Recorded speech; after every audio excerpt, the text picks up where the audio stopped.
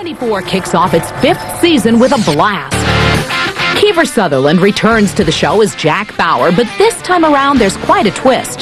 The primary difference in the character is that I don't work for CTU and I don't work for the Department of Defense, and everybody that I've ever had a relationship with thinks I'm dead.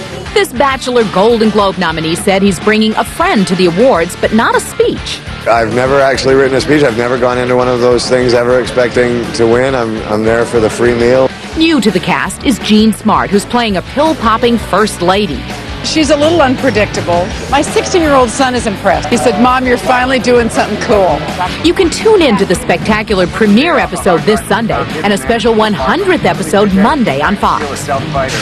Jean also says her first lady is a chain smoker. That can't be too much fun since she gave up cigarettes 17 years ago when she became pregnant with her son Connor.